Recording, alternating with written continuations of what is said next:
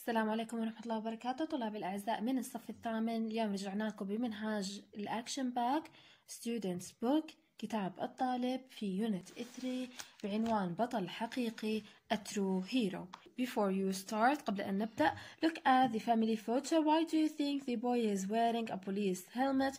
Why do you think the photo of the family is put in a newspaper article إذا ليه بالصورة مثل ما أنتم شايفين why the boy is wearing a helmet ليش الولد لابس خوذة أوكي وليه هاي الصورة أصلا موجودة بنيوزبيبر article يعني في جريدة رسمية طبعا إذا this type of text type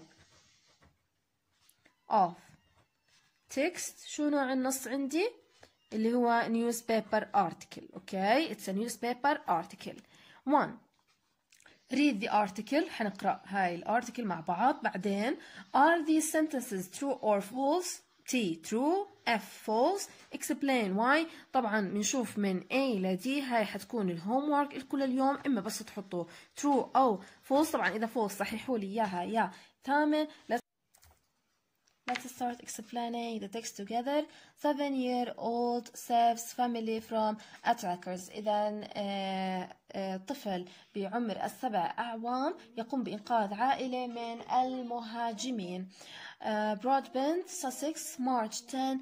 a seven year old boy, Charles Robbins, stopped some robbers at home. While the robbers were threatening his parents, he locked himself in the bathroom with his little sister and called the police. إذا ذو سبعة أعوام ينقذ العائلة من المهاجمين. لدينا هنا ولد ذو سبع أعوام اسمه تشارلز روبنز يقوم بإيقاف بعض من السارقين الموجودين في منزله بينما السارقين كانوا يهددون أهله أغلق على نفسه الباب مع أخته الصغيرة ومن ثم اتصل في الشرطة.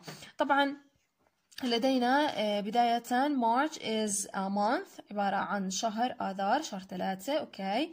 تشارلز روبنز يعتبر proper nouns أي اسم علم.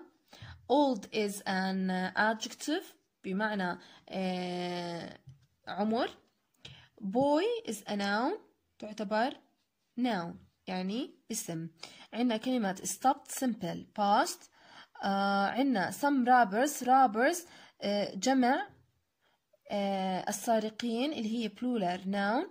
عندنا هون past continuous رح نحكي عنها بهاي الوحدة يا ثامن اللي هي عبارة عن وجود رح تشوفوا ال while وال when وراها ورا ال while مباشرة رح يكون was أو were ing عندنا were threatening هون يهدد أوكي والجزء الثاني من الجمله رح نشوف إنه رح يكون تصريف ثاني عندنا الفعل لقد أغلق. طبعا عندنا parents. Parents تعتبر plural noun أي اسم.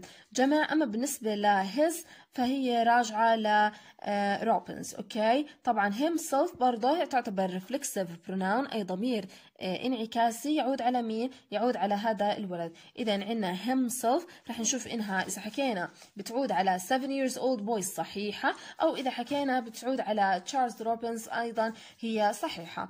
Let's complete reading together and explaining يا تامن You can hear the conversation in a copy of police tape. The boy talked about uh, his frightening experience to news reporters uh, this afternoon إذا يو راجعة لمين؟ راجعة للريدر للقراء اللي عم بيقرأوا الآن. أوكي. كان تعتبر من الموديل فيرب بيجي وراها إيش؟ مباشرة.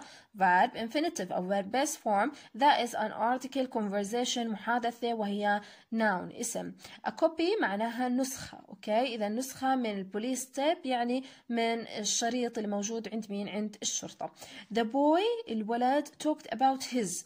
His رجعة مين؟ راجعة هون على the boy. أوكي.